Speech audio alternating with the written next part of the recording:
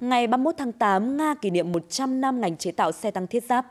Nhân dịp này, lần đầu tiên có một cuộc trưng bày ấn tượng 100 năm ngành công nghiệp sản xuất xe tăng tại công viên Yêu nước ngoài ô thủ đô Moscow của Nga.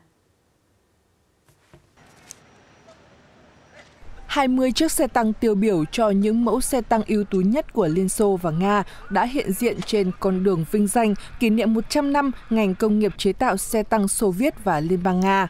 Chiếc xe tăng đầu tiên của Liên Xô là bản sao tăng Renault FT của Pháp. Vào ngày 31 tháng 8 năm 1920, khi chiếc Renault Nga đầu tiên ra đời, cũng được xem là ngày bắt đầu lịch sử chế tạo xe tăng Nga.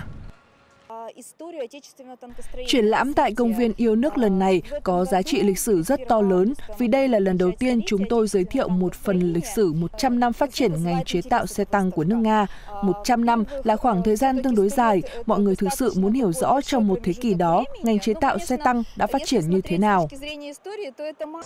Trong 100 năm qua, Liên Xô trước đây và sau này là Nga đã cho ra đời nhiều cỗ máy bọc thép có vị trí quan trọng trong lịch sử chiến tranh từ phiên bản Renault nội địa với 15 chiếc đầu tiên đến siêu tăng Amata, đại diện cho cuộc cách mạng của những cỗ máy chiến đấu và nổi tiếng nhất trong chiến tranh thế giới thứ hai là tăng T-34.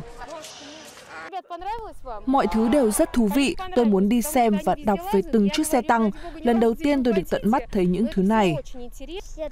Cháu thích tất cả các mẫu xe tăng được trưng bày ở đây.